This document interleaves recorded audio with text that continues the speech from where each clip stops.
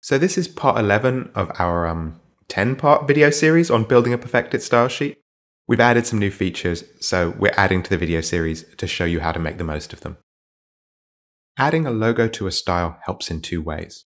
If you have multiple PerfectIt styles, it helps you see which you're running. If you're working with colleagues, it helps them to see that the style you've created is a bespoke tool specifically for them.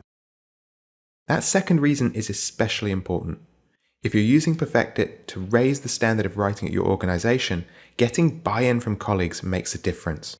Logos help with that. To add a logo, open PerfectIt and select the style you want.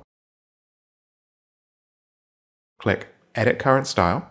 The Style Sheet Editor opens in the Details tab. Then click to add an image. Images should be 200 by 200 pixels or larger, and it will auto scale images to fit that size. You can also add a description of the style too. That's especially useful if you regularly combine different styles and want to keep track of what each one does. This isn't our only new feature, so more videos in our erstwhile 10 part series are coming soon.